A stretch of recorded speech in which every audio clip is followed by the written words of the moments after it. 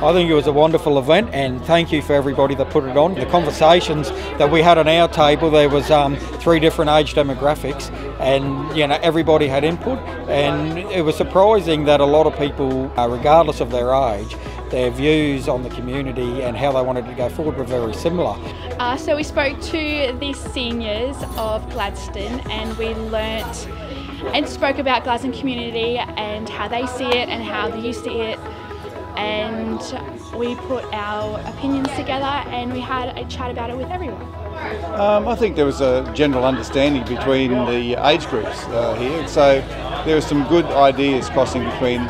young and old. So I learned a lot about my community and connecting with a diverse range of people from all different walks of life and it was a really wonderful opportunity to sit down and speak with lots of different people that I would not normally speak with.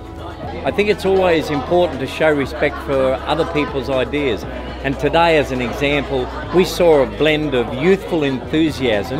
with our seniors as part of the celebration of Seniors Week and when we blend those